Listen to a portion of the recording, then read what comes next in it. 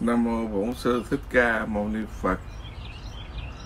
Ờ, kính bạch chư tôn đức, kính thưa cùng toàn thể đại chúng. À, hiện giờ là chiều thứ hai, 7 giờ chiều tại Hoa Kỳ. Còn ở Việt Nam thì à, 6 giờ sáng. Như thường lệ là huynh đệ mình gặp nhau để chia sẻ cho nhau về những bài thi ca của thiền sư huyền giác. À, chúng ta đã đi qua 11 kỳ. Hôm nay là kỳ thứ 12 có nghĩa là chúng ta đã đi ngang 6 bài. 6 bài thi ca. Và coi như hôm nay là mình đi đi đi vào cái bài thứ bảy và bài à, thứ 8 hai bài này nó cũng là vô cùng ý nghĩa cho nên là tôi cũng muốn um, gom lại để mà cho các vị nghe cùng một cái đề tài. À, trước khi vào à, cái bài thi ca thứ bảy thứ tám quý vị quan hệ cho tôi? Tại mấy bên này cái giò tôi nó bị đau quá. Cái bài thứ bảy thứ tám này thì à, tôi xin kể cho các vị một cái câu chuyện. Thử xem à, các vị có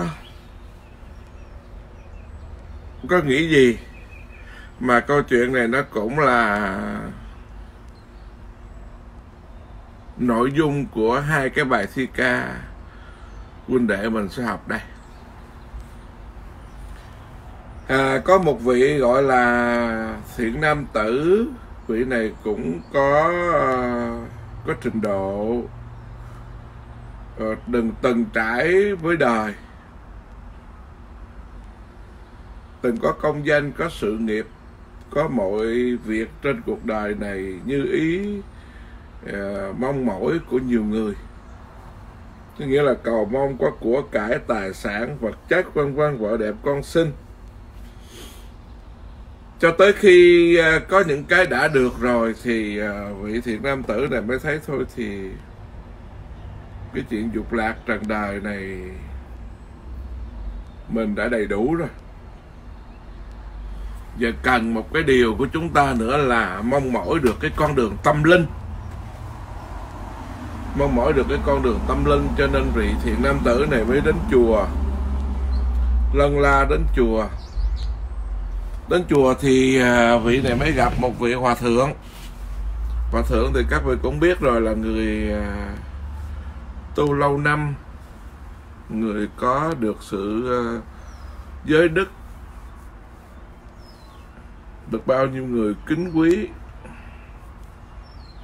Thì vị vị thiện nam này mới tới gặp hòa thượng nó bạch hòa thượng. Con thì bây giờ cuộc đời con thì của cải nó cũng đã đầy đủ, vợ con thì cũng cũng đầy đủ. Danh phận thì cũng đã trải qua rồi. Cũng từng ờ, lên voi xuống chó, cũng từng bao nhiêu ờ, thịnh si vinh nhục con đã nếm rồi bây giờ con ờ, ngao ngán rồi. Giờ con tới đây con chỉ xin hòa thượng ờ, thương con. Thương con rồi nhận con là đệ tử. Thật chất thì con chưa có quen với đạo. Trí năng về đạo thì con còn kém cỏi lắm, cho nên xin ngài chỉ dạy cho con những cái gì mà dễ dàng nhất, tinh yếu nhất của đạo để cho con tu.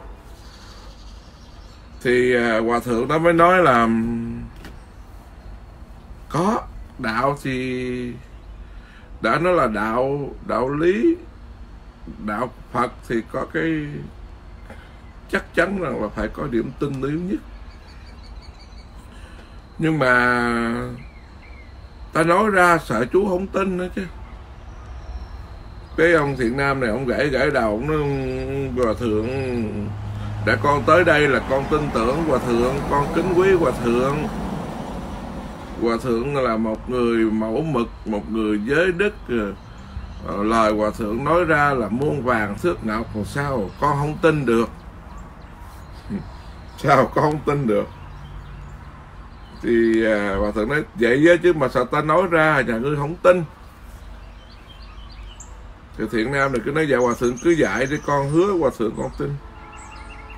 Hòa thượng mới chỉ hòa thượng nói ngươi chính là phật ngươi chính là phật. Thiện nam nó nói ừ, sư cụ chơi con hoài, con vậy sao phật được? Sư cụ nói gì con tổn đức, con chết. Thì hòa thượng đấy đó, thấy chưa? Ta nói, rồi. Ta nói ta nói ra là ngươi không tin, mà ngươi không có chịu. Ta nói ra là chú không có tin được đâu. Nó dạ bạch hòa thượng lời hòa thượng nói cái gì con cũng tin hết đó nhưng mà hòa thượng nói con là phật thì con còn à, à, à, à, à con còn à, hòa thượng nói thật á đó là lời thật. Ngươi chính là phật đó. Ngươi hãy khéo quay về với cái tâm bất sanh bất diệt của ngươi đi. Bởi vì ngươi đã từng trải với cuộc đời ngươi đã ngao ngán ngươi đã ngao ngán sự đời ngươi đã thấy cuộc đời này nó vô thường. Cuộc đời này thịnh suy lên vôi xuống chó như người lời ngươi đã nói với ta thì bây giờ ngươi thấy mấy cái đó là vô thường. Như vậy mấy cái đó không phải là phật thì chỉ có ngươi là phật chỉ có ngươi là phật à, mắt tai mũi lưỡi thân ý ngươi từ nhỏ tới lớn thì không phải là phật rồi phải không? Mắt này hồi nhỏ cũng dòm qua liếc lại rồi cũng tai này cũng nghe những lời phải quấy hơn thua. Mũi thì cũng ngửi mùi thơm mùi thúi lưỡi thì thích ăn ngon. Vân vân vậy thì mắt tai mũi lưỡi thân kia không phải là phật nha. Rồi à, à, tứ chi là hai tay hai chân không phải là phật nha. Rồi à, lục phủ ngũ tạng không phải là phật nha à, cái hư không bên ngoài luôn cả phật đó bàn thờ không phải là phật nha. Cái vui buồn suy nghĩ của ngươi bấy lâu nay nào là thiện nào là ác nào là buồn nào là thương nào là giận nào là ghét không phải là phật nha. Duy chỉ có cái cái ở trong hình hài năm quẩn năm quẩn của ngươi là phật. Nhưng mà nó không phải hình hài. Mà ngươi phải khéo nhận ra để ngươi thoát sanh tử luân hồi đó là phật đó là cái chủ đề mà tôi nói câu chuyện này để tôi sẽ giải thích hai bài kệ bữa nay cho chư huynh đệ cùng học. Hiện bây giờ trời à, vẫn còn chiều các vị nhớ cũng chiều cho nên tôi chưa có sử dụng đèn. Nếu một hồi mà tối quá thì uh, tối thì tôi mới sử dụng đèn nhé. Giờ là đang ngồi cái ánh chiều. Uh, tôi thì nước da thâm nước da bánh ít cho nên là nó không có được sáng sủa các vị cũng cảm thông cho. Trở lại cái bài học của mình hôm nay có là cái bài thi ca thứ bảy, nó có bốn câu. Phóng tứ đại mạc bả tróc. Tịch diệt tánh trung tùy ẩm trác. Tư hành vô thường nhất thiết không, tức thị như lai đại viên giác. Có nghĩa là phóng tứ đại là hãy hãy phóng thích đi.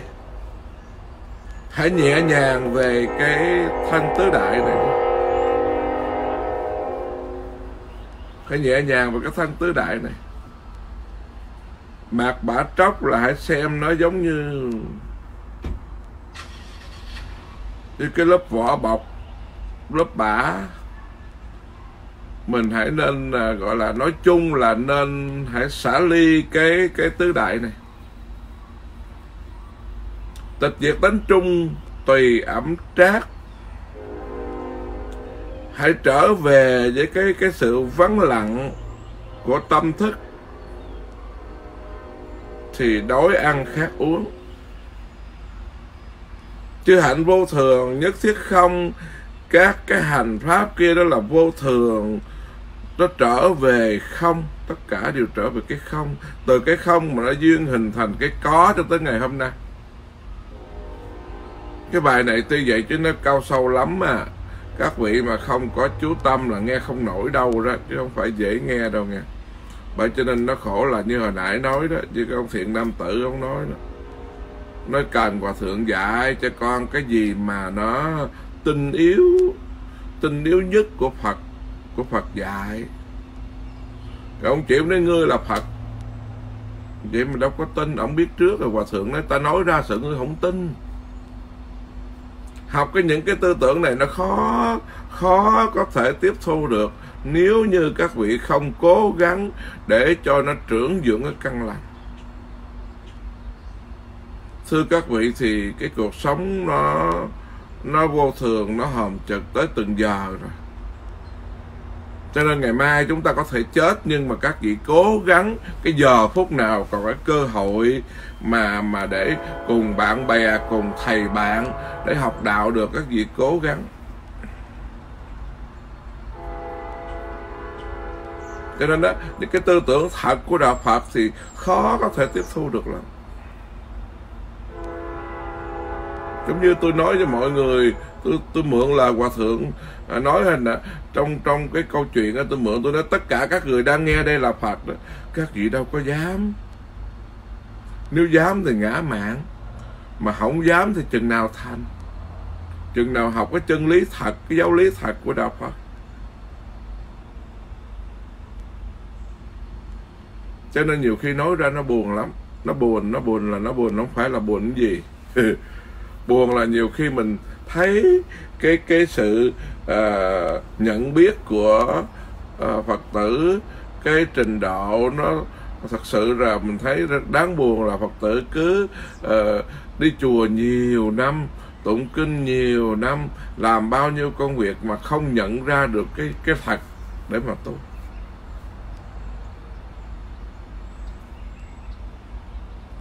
Cho nên tất cả từ cái không mà nó duyên ra những cái có mà hôm nay chúng ta đang rờ mó nắm bắt được đây. Nhưng mà những cái có đó rồi, trước sau gì, nó cũng phải trả trở về cái không của nó thôi. Chứ trên trần đời này có cái gì mà nó gọi là tồn tại ở đâu? Nó có cái gì mà nó nó, một thứ sanh ra nó đâu? Vì vậy mà nó không tác giả, nó không trường tồn, nó không cố định mà đức phật nó là vô ngã đó.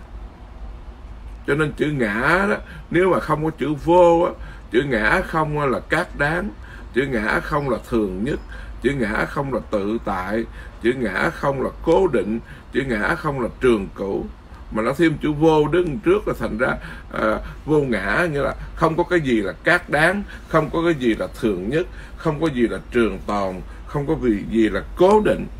Phải không? Các chị thấy nó chỉ thêm một chữ thôi. Mà mà vấn đề mình thấy nó đi ngược lại hết.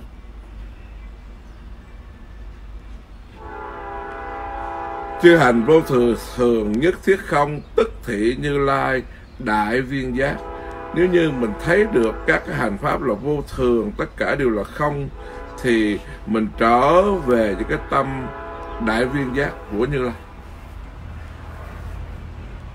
Tôi thì à, tôi dịch hơi thoáng một chút.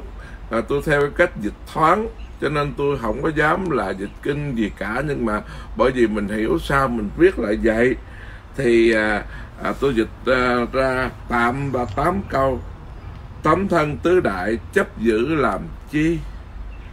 Nếu ai có nắm thì cũng chẳng nắm được gì. Tâm tánh lắng yên, tâm tánh lắng yên, đói ăn khát uống. Thân không thiệt thì thế gian chẳng thiệt gì. Các pháp vận hành theo định lực vô thường, lấy trí huệ mà nhìn tất cả pháp tức không. Rõ tận nguồn chân thì cõi lòng thanh thản thể nhập trở về tâm bất động như lai.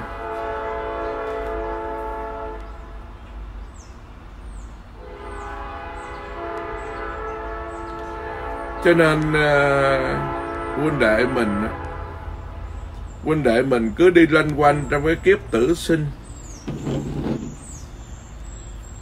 mà đâu phải đời này đâu các huynh đệ mà mình đã ngàn vạn đời về trước.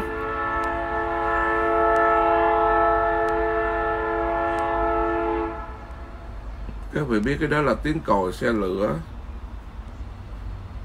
Nó đi ngang cái nó, tiếng còi xe lửa. Cái giờ mà cái xe lửa nó chạy bên này các xe lửa nó chạy đó nó có thể hơn nửa giờ nó mới hết cái toa. Tôi quên là bữa nay cái ngày xe lửa nó chạy thôi kệ mình nói chuyện nghe, các chị cũng nghe rõ chứ hả?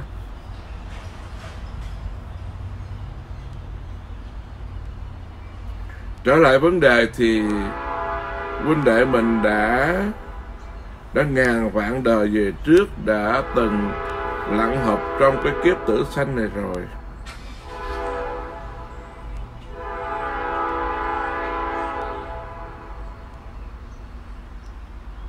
Nó rất là ở bên Mỹ á, nó rất hiếm nghe được cái tiếng kèn xe lắm. Chỉ cái tiếng kèn như vậy là tiếng xe lửa đó các vị. Nếu như một ai mà à, nhận biết đạo lý hiểu được đạo lý của Phật dạy một phần nào rồi đó thì có nghĩa là mình sẽ nhận biết những cái thứ vui buồn vinh nhục phải quấy là vọng chấp phát sinh chứ không phải là ta cái thứ mà vui buồn vinh nhục phải quấy là vọng chấp phát sinh chứ không phải là ta. Nếu ta hiểu được như vậy đó thì ta sẽ nhẹ nhàng thanh thoát. Còn nếu mà ta không hiểu được như vậy đó thì các vị biết cái bản ngã của ta nó kéo lôi. Mà một khi mà bản ngã nó kéo lôi thì nó sanh khởi bao nhiêu là việc. Rồi làm cho mình trầm luân không có lối thoát hôm nay nếu mà những huynh đệ nghe được từ hôm nay thôi, tôi chỉ cho là cái giai đoạn gần đây, từ khi học, bắt đầu học lại cái chứng đậu ca cũng như kinh di đà thôi, tôi chỉ cho là gần đây thôi. Mà các vị à, hiểu được đến đây á, hiểu được như vậy rồi thì có nghĩa là tâm mỉm cười với cuộc đời. Với cái mọi thứ mà khổ đau phiền muộn rồi hay nói khác hơn là tâm mỉm cười với nhân thế chứ những phẫn nộ bên trong. Bởi vì ta biết đó là trò chơi. Ta biết đó là trò chơi.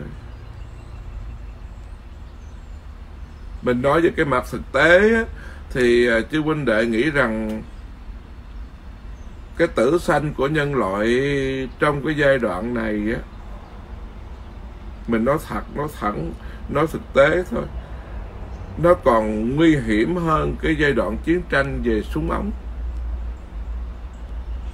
Thí dụ giai đoạn chiến tranh à, về súng đạn thì à, một khi con người mà trước khi chết còn biết rằng là mình à, bị tiên đạn bị bắn chết hay là gọi là làng tên mũi giáo nó vốn vô tình.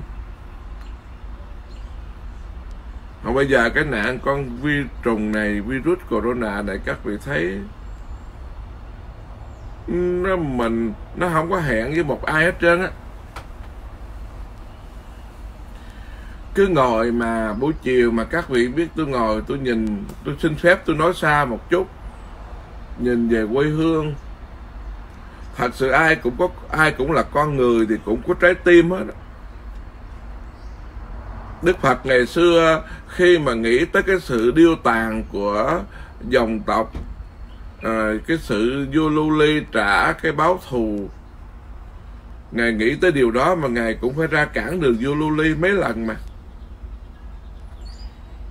Ngài cũng ngồi ngài cũng nhìn về quê hương. Cái điều nghĩ về quê hương của mình cái đất nước của mình dân tộc mình coi vậy chứ nó đâu phải là lớn đâu phải là rộng lớn. Con người của chúng ta nó hơn 90 triệu người nó cũng chưa phải là đông. Mà các vị huynh đệ nghĩ à, có một cái nguồn tin đó là à, tất cả các cái cái tòa à, đại sứ lãnh sự quán à, họ họ tự nhiên họ buông họ rút về nước. Trong đó có cả Hoa Kỳ à, lãnh sự quán Hoa Kỳ trong vòng à, coi như hai hai 48 tiếng đồng hồ cũng rút về nước.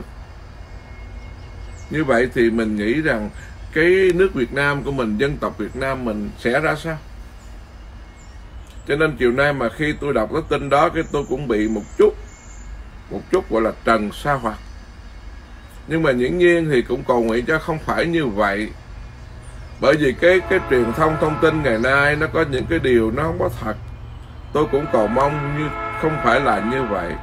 Còn nếu kiểm tra lại là như vậy thì dân tộc ta và người thân ta sẽ ra sao?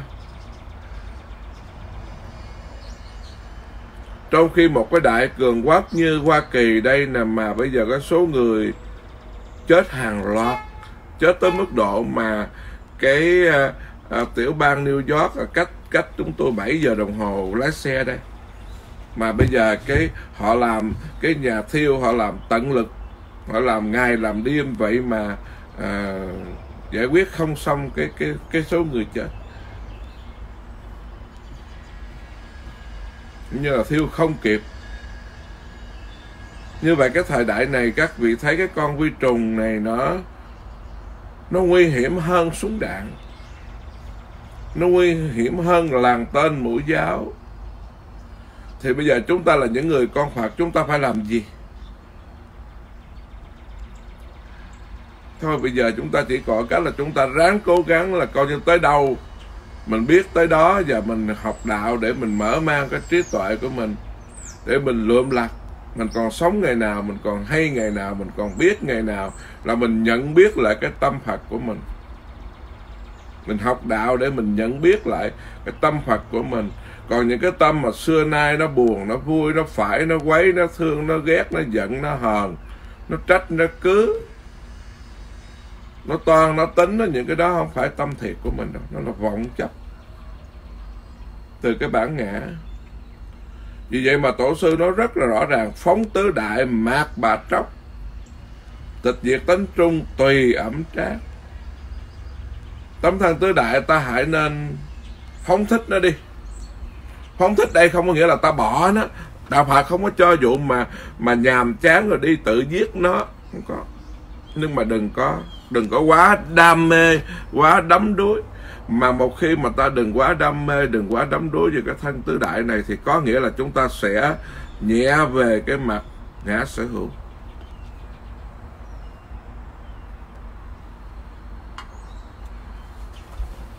Hạ cái ngã mà ta ta phóng thích được nhiều tới đâu thì cái ngã sở hữu nó sẽ nhẹ tới đó. Còn mà ta cái chấp chặt cái cái cái cái ngã, chấp ngã thì cái chấp pháp nó đi liền thôi. Cho nên tổ sư nói bốn câu mà rất rõ ràng, phóng tứ đại mạc bả tróc, tịch diệt tính trung, tùy ẩm trác. Nếu như mà chúng ta được phóng thích được chúng ta được ly xả ly được cái cái chấp về thân tứ đại này đó thì ta sẽ có an lạc gọi là niết bàn mà khi ta có an lạc có niết bàn thì cái chuyện đối ăn khác uống đối với chúng ta nó rất là bình thường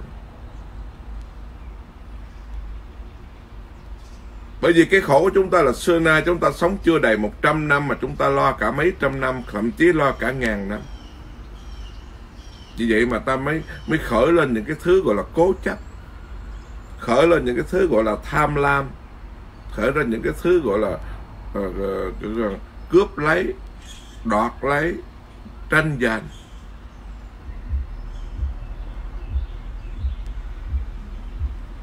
cho nên chư hạnh vô thường nhất thiết không tức thị như lai đại viên giác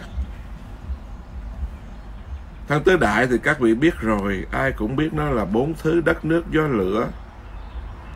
Nó nương gá chứ nó không bền chắc. Nó chi phối theo định luật vô thường. Bởi vì chi phối theo định luật vô thường như thế đó, mà bao nhiêu người phải khổ đau vì cái lực vô thường đó. Thế gian thì cứ đuổi bắt. Chấp thân, chấp vật chất từ theo đuổi cho nên quý trọng, từ quý trọng cho nên nô lệ với cái cho là được. Luôn làm tôi mọi chỉ vì một suốt một cuộc đời không phút nhầm chán. Cho nên đạo phật giải quyết rất là hay. Giải quyết cho con người xả ly. Nhưng tôi nhắc trở lại, xả ly không có nghĩa là đi quỷ hoại nó, đi bỏ đó mà có nghĩa là mình tạm thời dùng cái chữ là gọi là xem nhẹ nó xem nhẹ cái thân vật chất này. Đừng có quá đắm đuối nó. Đừng có quá chiều chuộng nó. Bởi vì nó, có nó à, trong trong cái thân vật chất này nó có cái tánh Phật bất sanh bất diệt ở trong đó nhưng mà ngạc nổi á, nó vẫn có ẩn nấp những cái vô minh trụ địa ở trong đó. Nó vẫn ẩn nấp những cái tham sân si mạng nghi ác kiến trong đó. Vì vậy mà nó làm cho con người khổ. Vì vậy mà mình phải xem nhẹ đó. Xem nhẹ chứ không nên khinh thường nó nha bởi vì có thân tứ đại này mới có tu hành thành Phật. Các vị nhớ thiên thượng nhân gian chư Phật à, chư Phật Thế Tôn thiên à, à, cái bằng xuất thế nhân gian. Thiên thượng nhân gian thành Phật giả chư Phật Thế Tôn xuất thế ở cuộc đời này thành Phật ở cõi đời này chứ không có phải thành Phật ở trên mây trên non trên núi trên trời cho nên phải có cái thân này thì mới tu hành mới thành Phật. Nhưng mà đừng quá yêu kiều đừng quá uh, chấp chặt nó bởi vì chấp thân nặng nề quá thì chấp vật chất. Mà chấp thân chấp vật chất thì theo đuổi mà theo đuổi cho nên quý trọng quý trọng cho nên trở thành nô lệ. Nô lệ nghĩa là làm tôi làm mội cho nó. Đầu xương sọ cài trăm dắt lụa cho nên vậy mà người tôi phải cạo đầu này còn các vị ngoài đời thì gọi là ngoài đời đầu xương sọ cài trăm dắt lụa đãi da hôi, ướp xạ sông hương. Phô bài nhung gấm khoa trương, nào hay đâu chỉ vô thường hôi tanh.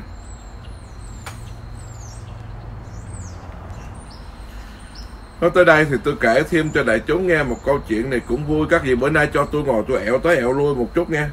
Tại cái tội mấy bữa nay cũng tham tham công tiếc việc làm cho giữ sắn đất cho giữ rồi qua đào cái cây nữa là cái giò bữa nay vừa ngồi mà vừa cái đơ gì nữa các vị cảm thông đừng có bắt bẻ tôi cái quy nghi nghe. Trời ở giờ này bắt bẻ quy nghi nữa là chết liền á. Không ẹo là không được rồi nghe. À, có một nhà vua ông vua này ông đặc biệt ông nói là vào buổi sáng khi mà ta ăn sáng ta không muốn tiếp một ai ta muốn ngự qua viên này để một mình trẫm để một mình trẫm trẫm thưởng thức cái ngự qua viên này. À, tình cờ bữa đó thì à, có một cái người à, gọi là một cái người ăn mài. Mình cho là ăn mài ăn xin. À, sao họ lọt vô được cái ngự qua viên đó? Đi sau lũi thủi ông vua? Ông vua ông đang thưởng thức mấy cái kỳ hoa dị thảo. Tâu bệ hạ, tâu bệ hạ. Ngươi là ai? Tức khách để nói, không dạ dạ tôi là, tôi năng mài chứ không có tức khách bệ hạ đâu. Thế tại sao ngươi được vô đây? Thì cái tên ăn mài kia nói dạ thưa bệ hạ. Những tên ăn mài ăn xin, ăn trộm, ăn cắp này, một khi đã muốn thì cách nào chui vô cũng được hết trơn đó thưa bệ hạ vua, người trí ông nghe nó này nó có lý. Thì ngươi vô đây để làm gì? Thì tên ăn mài nói Dạ thưa bệ hạ, tôi vô đây để tôi ăn xin. Cái ăn mài thì vô đây chỉ ăn xin thôi, Chứ không làm gì hơn, thưa bệ hạ. Được rồi. Ngươi khéo léo lắm.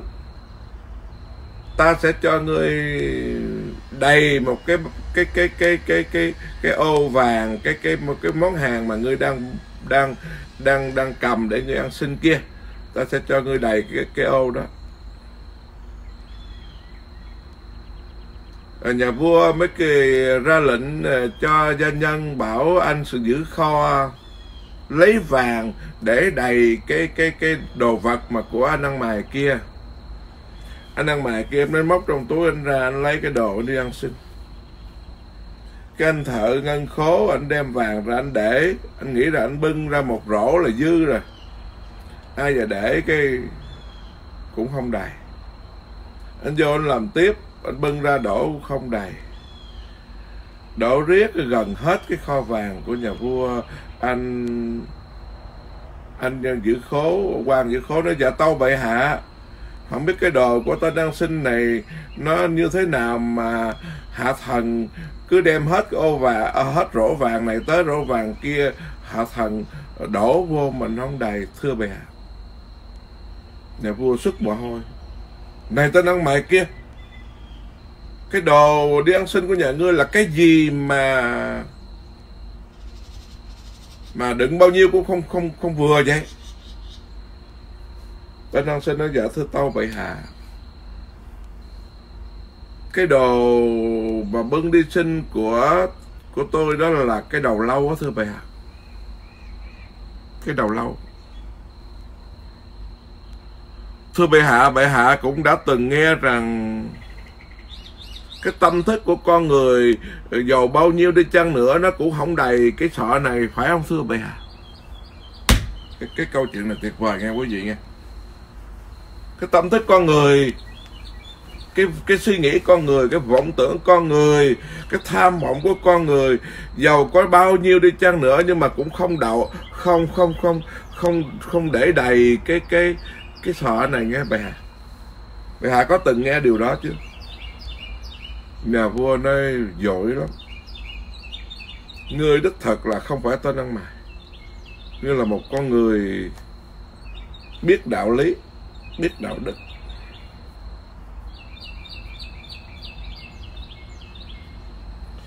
Cho nên các vị thấy may mắn cho huynh đệ mình á mình học đạo rồi mình mới thấy những cái tham vọng những cái buồn giận những cái vui tươi những cái phải những cái trái những cái hơn những cái thua những cái vinh những cái nhục á may mắn á, là nó không thật chứ nếu mà mà các huynh đệ cứ nghĩ là những cái đó là thật á, thì các huynh đệ nghĩ coi chỉ trong một ngày thôi các huynh đệ chứa ở đâu chứ chỉ trong một ngày thôi, chúng ta chứa đâu chết cho nên may mắn nó không thật vì vậy, đạo phật mới nói lên cái thật là như vậy đó. Đạo phật nói là cái thật. Thành ra các huynh đệ ráng, trong cái giai đoạn này tôi giảng cái thật không á? Tôi không cần các huynh đệ kính trọng tôi tôi không cần các huynh đệ dòm ngó tôi. Tôi không cần các huynh đệ lo lắng gì cho tôi, mà tôi cần các huynh đệ phải nghe cái thật đó. Để các vị rọi, soi và tìm trở về với cái tâm bất động của mình. Còn những thứ vui buồn kia, nó không phải là mình những cái thứ phải quấy, những cái thứ mà à, hơn thua, những cái thứ mà khen chê, những cái thứ mà được mất, những cái thứ mà nhục vinh. Rồi rồi đây là tổ sư quyền giá có cái bài nhục vinh hay lắm, khen chê hay lắm.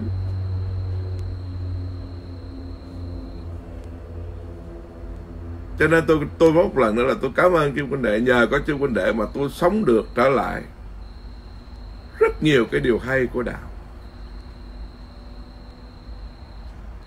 Và tôi cũng nói là có những lần tôi muốn ngục gục ngã. Thấy nó ngao ngán sự đời quá. Nhất là cái xã hội của chúng ta ngày nay, cái đạo đức nó không còn. Từ từ người tục cho tới người tu. Cứ chơi nhau, cứ triệt nhau. Luật pháp thì quốc gia nào nó cũng có luật pháp. Nhưng mà tiểu tiết, tiểu tâm thì nó càng ngày nó càng đầy dậy nó không phải là cái thời của con người có mặt ở quả đất này, mà thời đây là cái thời gọi là lục đạo cùng sống chung nhau, gọi là phàm thánh đồng cư độ.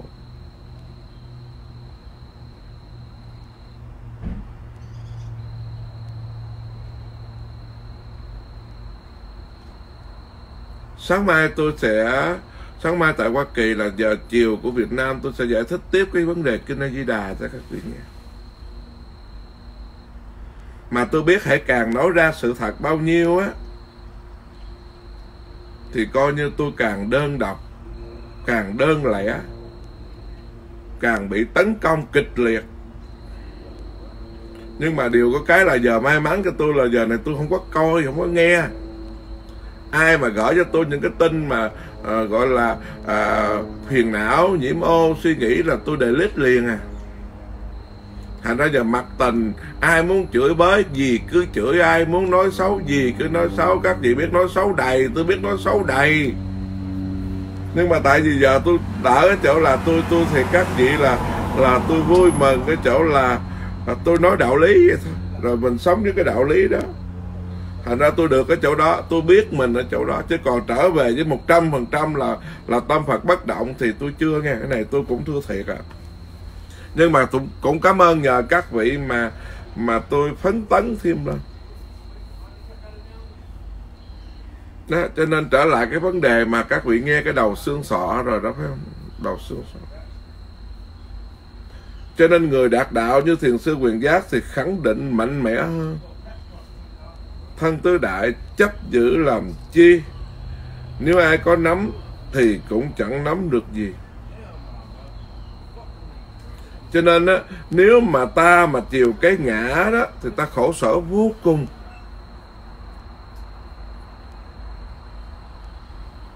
Tôi tôi thấy rồi. Mình chiều cái ngã của mình là mình mình mình khổ sở vô cùng. Khổ sở một cách là là đêm đêm không ngủ ngày không ăn. Cho nên bây giờ có những khi á thật ra tôi là như nãy tôi nói các vị là cái trái tim, tôi là trái tim con người mà. Trái tim vẫn có máu chảy về tim thì làm sao không thương quê hương, không thương dân tộc, không thương đồng bào, không thương người việt, không thương gia đình, không thương bạn bè. Nhưng mà bây giờ cái thương là mình biết như vậy thôi, thương để mà thương, chứ rồi mình làm gì khác hơn. Khi cái nghiệp của chúng sanh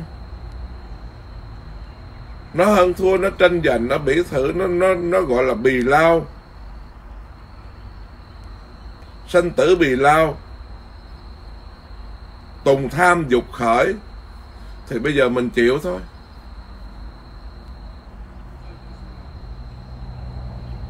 Chứ còn mà mà mình nói khác hơn cũng không được. Mình làm khác hơn cũng không được. Ngay cả đức thế tôn của chúng ta, đức phật của ta mà còn không cản được vua lưu ly tàn sát dòng tộc. Ngay cả thần thông như một kiền liên, mà cái nghiệp đó tới thì cũng phải xua tay cho ngoại đạo đó đánh trào máu họng thôi. Cho nên cái điều mà huynh đệ nên nhớ rằng, cái nghiệp của chúng ta gieo nhiều đời, nhiều kiếp rồi. Mình đã trôi lăn trong vòng tử sinh, mình đã tạo quá nhiều rồi. Cho nên cái điều mà chúng ta phải phải cố gắng ngay nơi hiện đời này. Chúng ta học đạo lý như là trở về với tâm như lai được bao nhiêu là mình mừng bấy nhiêu.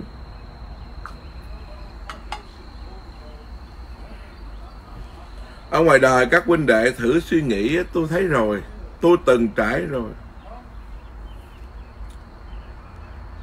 Dầu là tôi tu chứ tôi cũng thử nghiệm tôi nói thật, tôi không có giấu nhưng mà làm sao làm? Đừng đừng phạm phải cái giới căn bản của đạo phật.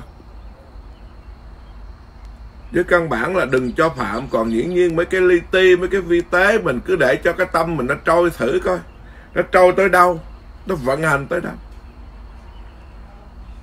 Những cái mà ngày xưa mà cũng ham à, chùa to ham mà phật bự ham đồ chúng ham mà à, có của cải riêng này kia nọ đó. Rồi cái mình được bá tánh bổn đạo, nó cưng chiều, nó quý mến, nó tận dụng. Trời ơi, nó bưng, nó đưa tận mây cao, mây xanh. Rồi nó nó cúng kiến đồ, nó lo lắng từ miếng ăn, từ giấc ngủ, rồi kia nọ. Cái rồi là mình tự hào, mình hãnh diện á. Cái rồi tự nhiên là tôi mới thấy là y như mình lội cái dòng nước xuôi nè. Dùng nước xuôi mà mình lội, trời, tôi hội dưới quê mà tôi lội dùng nước xuôi nó đã lắm. Nó đưa mình đi tới, nó đưa mình đi tới, nó đưa mình đi tới đã lắm mình có vẻ hứng thú lắm. Thì đó là những cái dục vọng. Những cái dục dục vọng của mình mà mình mình mình mình trôi theo, mình xuôi theo, mình đạt thành, mình hứng thú lắm. Mình vui lắm. Mà cái vui đó là là các vị nhớ là, nào hai vui những là nhân chát sầu.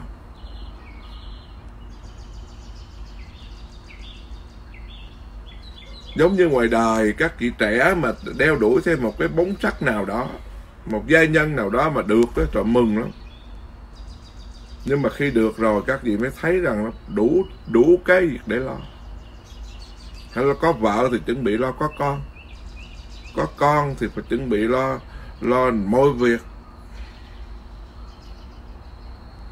Mà các vị cứ thấy đó là hứng thú, giống như các vị lội cái dòng nước xuôi gì cho là hứng thú. Nó đạp cái gì tới, cái gì cho là hứng thú. Ngược lại người tu á, thì nó khác. Người tu là luyện cho mình một cái trạng thái không lo sợ, vô thường mà cũng không không có ưng mà chạy theo dục vọng. Mà ta cũng biết rằng nếu không có lực vô thường thì ta không có mặt ngày nay nhờ có định lực vô thường, ta mới có mặt ngày nay. Nhờ có được định lực vô thường, cho nên mới thấy được cái tứ đại là giả hợp. Thấy rõ vận hành của định lực vô thường, cho nên chúng ta dừng tâm ham muốn. Mà nếu chúng ta dừng bớt cái tâm ham muốn tới đâu, thì hạnh phúc nó sẽ tới đó. Còn mình càng ham muốn nhiều chừng nào, thì hạnh phúc nó càng xa rời chừng đó. Mình càng ham muốn thì càng khổ đau này khẳng định gì càng được thì càng khổ.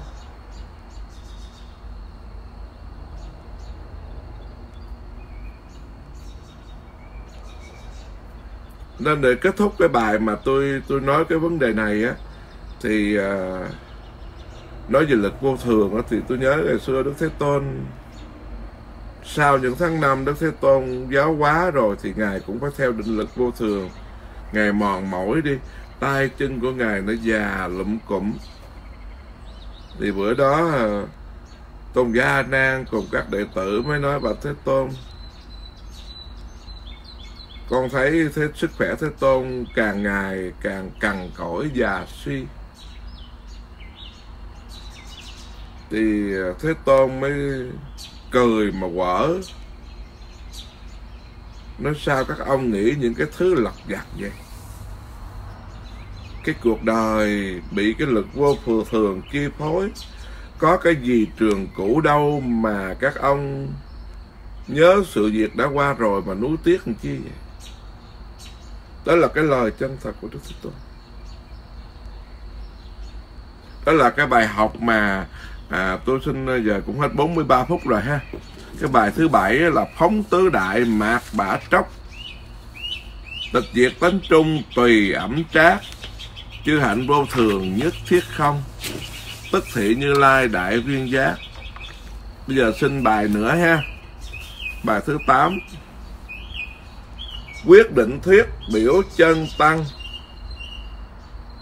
Các vị thấy chim kêu vui không nè? Đó. Từ từ cho nó ăn giờ nó giờ nó kêu. Quyết định thiết biểu chân tăng, hữu nhân bất khẳng nhiệm tình trưng trực triệt căn nguyên phật sở ấn. Trích diệp tầm chi ngã bất năng. Quyết định thiết. Có nghĩa là quyết định đây là nói thẳng. Quyết định là nói nói trực. Trực tiếp, nói dứt khoát, nói thẳng tắp. Cho nên cái chữ quyết định quyết định thiết là cái lời nói trực tiếp lời nói dứt khoát lời nói thẳng tắp bởi vì à, Đức Phật thì các vị nên nhớ tất cả những ai học Phật nhớ lời của Đức Phật.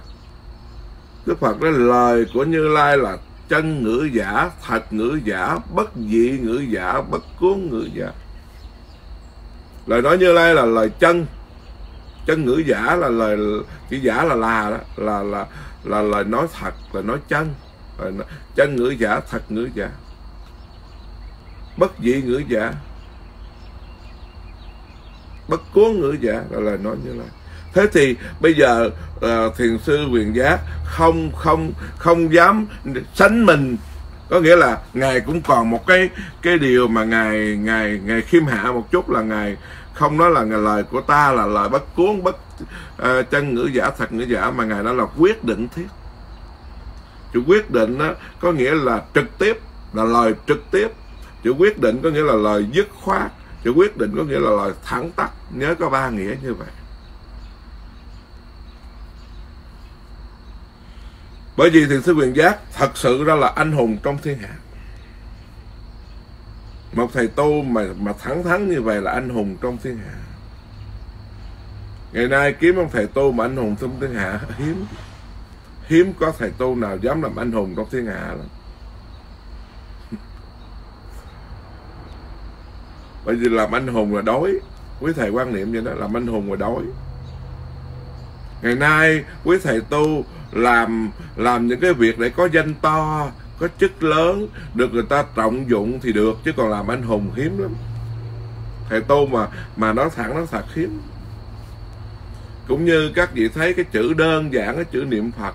Như sáng tôi có viết cái bài mà tôi để ngày mai tôi giảng. Tất cả với thầy, nếu theo đại thừa Phật giáo và dùng cái danh từ niệm Phật thì không ai không ai không biết rằng chữ niệm ở trên nó có chữ kim, ở dưới nó có chữ tâm. Ai cũng cũng cũng trên chữ, cũng biết chữ niệm là trên chữ kim. Có nghĩa rằng niệm Phật là mình phải nhận ra cái cái cái cái ông Phật hiện tiền. Ông Phật đương là. Bởi vì chữ kim mà kim là nai mà. Vậy đó mà các phật tử không được mấy mấy ông thầy ờ, giải thích chuyện đó. Mấy thầy tiếc không dám giải thích chuyện đó.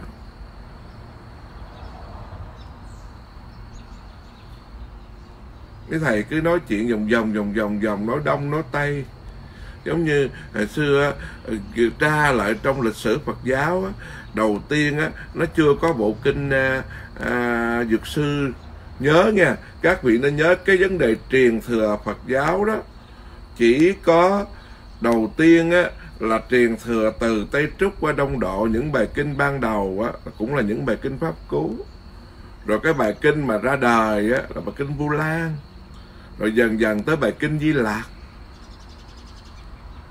Thành ra cái bài kinh Di Lạc ra đời, cái làm cho chúng sanh họ vui, họ thích, họ mong được lên trời đấu sức á.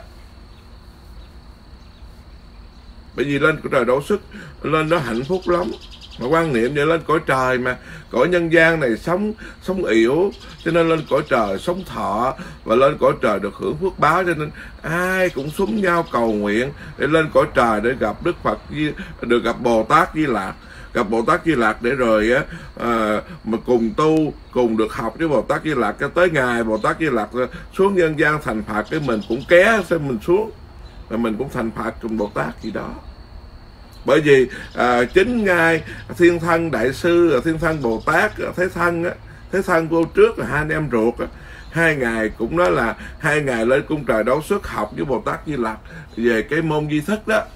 Sau này đời thế kỷ thứ bảy đường tâm tạng pháp sư mới à, qua bên à, đại học anh năng đà học rồi đem về cũng dịch ra rồi lập cái cái di thức tông á gọi là pháp tướng tông á cho nên là vậy mà chúng sanh ùng ùng ùng ùng ùng ùng ùng lúc đó là là chỉ một lòng cầu nguyện là cầu nguyện cho long Qua tam hội tam hội tương phùng. Cho nên các vị nhớ cái cái lương hoàng sám không?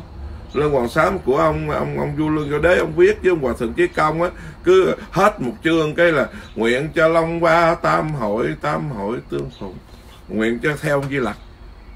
Được gặp phật di lặc ở long Qua tam hội à, rồi cái sau thời gian không biết làm sao rồi cái sau thế kỷ thứ uh, sau cái thế kỷ thứ ba thứ tư đó rồi cái tới thế kỷ uh, thế kỷ thứ tư phải. Cái tự nhiên xuất hiện bộ kinh dược sư. Bộ kinh dược sư thì à, nói rằng cái cõi phật dược sư là cõi tịnh lưu ly. Cõi đó toàn là lưu ly pha lê sa cừ không à. Mà cái thời đó nó ngay cái thời phong kiến rắc rắc màu phong kiến. Rắc màu phong kiến cho nên cái thời đó vàng bạc như tôi nói sáng nó không có quý thời đó là quý mã não quý hộ phách để cho mấy ông vua ông làm những cái món trang sức để ông tặng công chúa công nương hoàng phi tặng vợ lớn vợ nhỏ đó mà. Đó cho nên mới đưa ra một cái dược sư nó trúng thời. Nếu mà ai mà mà ráng à, tu hành cầu nguyện đức phật dược sư cái về cõi đó toàn là lưu ly không? Trời ơi nó đúng nó đúng ngay tâm điểm luôn ngay tâm điểm của ông vua. Mà lại thêm vô nữa chứ thì vô là nói là ông phật dược sư có 12 lời nguyện. Cho nên nguyện nào cũng là gì ờ, à, con nguyện đời sau khi chứng được đạo bồ đề thân con như ngọc lưu ly trong ngoài sáng suốt tinh sạch hoàn toàn không có chút dơ bận chúng sanh thấy con sao sao đó. À, được con rước về cõi con à, con nguyện cho con sau khi chứng đạo bồ đề coi như là 12 lời nguyện. Thế thì bảo đảm rồi. Vừa là ông Phật này ông có phát nguyện thiệt mà vừa là về cái cõi ông có tịnh lưu ly nữa, trời mừng quá. Súng nhau lập đàn, cầu nguyện tịnh lưu ly về cõi Phật Đông Phương. Rồi cái A hình dung cái tới cái đời mà của của của của mẹ của ông ông ờ, Ngô Ngô Ngô Tôn Quyền á. Ngô Tôn Quyền. Bà thấy dân tình chết chóc nhiều quá, mà một bên thì đạo chúa uh, tới một bên đạo hồi đánh tới mà đạo chúa thì có tin tưởng. Ai tin nơi chúa được về đức chúa trời rước. Còn đạo hồi thì ai tin tưởng thánh a la được thánh a la rước. Mà đạo phật mình thì đức bổn sư mình á đâu có cái dùng đất. Nếu nhìn kỹ ông bỏ hoàng cung đi tu đâu có dùng đất. Thế thì bây giờ buộc lòng phải sao? Phải nương cái quai thần nơi cái giáo lý mới đưa ra. Và cái Di Đà coi như Phật A Di Đà. Mà bây giờ đưa Phật A Di Đà à, thì bây giờ ờ, ở đâu? Thì ông Phật Dược Sư hướng Đông rồi thì phải đưa Phật Di Đà hướng Tây. Ừ. Một một ông thì mặt trời mọc một ông mặt trời lặn. Mà bây giờ đó, ông Dược Sư thì 12 lời nguyện bây giờ phải phải phải cho chúng sanh nó tin hơn. Thành ra đưa Phật Di Đà 24 lời nguyện. Cho nên cái bài kinh vô lượng thọ khởi thủy ngày xưa đó khởi thủy mà ra đời chỉ có 24 lời nguyện thôi. Phật Di Đà có 24 lời nguyện. Rồi cái sau thời gian cái 36 lời nguyện. Rồi cái bây giờ 48 lời nguyện. Không chơi có ông thầy chùa nào nó học mình bao nhiêu không biết nữa. Nó thêm lời nguyện vô nữa 49 lời nguyện. Tôi nói, ủa, làm gì mà có vụ 49 nữa đây? Trời, tôi thấy ông nào gửi cho tôi cuốn sách gì đó để là là 49 lời nguyện của Phật cái Di Đà tôi đó thì các vị đừng có cười. Tôi tôi xé cái rác tôi dột vô thùng rác tôi không hề có. 48 là điên đầu rồi. Rồi á quan âm á, thì có 32 ứng thanh. Từ hồi xưa giờ cứ nói là quan âm là có 32 ứng thanh. Rồi biết ông nào nó chọt cái bút vô nó viết giờ quan âm tới 33 ứng thanh nữa chứ. Tôi thấy tôi xé cái rác đó tôi tôi tôi tôi dục vô thùng rác. Không hề tội lỗi gì. Không đọc. Rồi, theo cái đạo như vậy là điên cái đầu luôn. Điên cái đầu. Mà phật tử mà không học đạo mà theo như vậy là điên cái đầu. Mà biết là tôi nói đây là tôi nói ra là càng ngày tôi càng bị bị cô lập, càng bị chống phá nữa. Nhưng mà phải nói nói đây là nói chân thành đối với những phật tử học đạo chân thành. Cho nên thì sư quần giáo nó quyết định thiết, quyết định thiết là lời trực tiếp là dứt khoát là thẳng tắc chứ không có mà mà mà nói nói à, à xin hòa thượng nào xin vốn chính là sao kệ hòa thượng nào mặc kệ hòa thượng nào. Tôi không cần nói tên. Đầu tiên có 24 rồi 36 rồi 48 chơi gấp 3 gấp 4 vậy đó. Bởi vì ông Nhật Dược Sư có 12 bây giờ cái thêm 49 kệ hòa thượng nào mặc tình. Không phải hòa thượng là giết là đúng đâu nói vậy các vị ờ, ờ, đừng có đưa mấy cái này ờ, các phật tử mình nghe thôi. Còn ai lén nghe là nghe, chứ còn đừng có đưa ra. Đưa ra nó chửi tôi mà họ kệ nó nhớ chửi tôi nó sẽ gặp tôi rồi đừng lo. Trở lại cái bài, quyết định thiết biểu chân tăng, hữu nhân bất khẳng nhiệm tình trưng. Trực triệt căn nguyên phật sở ấn, trích diệp tầm chi ngã bất năng. Xin nói thẳng, xin nói lời dứt khoát, đó là là quyết định thiết nó ba nghĩa đó nha. Nhớ cái câu quyết định thiết nó tới ba nghĩa. À thứ nhất là lời trực tiếp, thứ hai là lời dứt khoát, thứ ba là lời thẳng tắt biểu chân tăng là tiêu biểu cho một cái cái cái vị tăng mà tu hành không có danh lợi ràng buộc quyết định thiết biểu chân tăng hữu nhân bất khẳng nhiệm tình trân. Hữu nhân hữu nhân là có người nếu có người nào đó bất khẳng mà chẳng có thuận lòng nhiễm tình trân mà thậm chí chửi bới thậm chí uh, trách mắng tôi xin hoàn toàn nhận lãnh cho nên hữu nhân là nếu có người nào đó mà nghe mà không đồng thuận với cái điều này á mà có quở trách tôi tôi cũng chịu chứ giờ không chịu làm sao hơn vậy? Đó là lời tổ sư quyền giác đó, đó. Trật triệt căn nguyên phật sở ấn trích diệp tầm chi ngã bất năng. Trực triệt là ngài nói nói thẳng. Trực triệt là ngài coi như là ngài ngài quyết chí ngài nói thẳng vậy đó. Một cái lẽ thật thì không cảm tình. Cho nên ngài mới trực trực triệt là một chân lý một lời giáo pháp mà coi như dứt khoát vậy đó. Căn nguyên chữ căn là là là là, là gốc mà chữ nguyên là cội. Ngài nói thẳng cội gốc phật sở ấn phật đã dạy chứ ngài không có chịu cái cảnh là trích diệp tầm chi ngã bất năng ngài không có chịu mà nói kiểu vòng vòng vòng vòng nói ba qua vặt vảnh lá cành.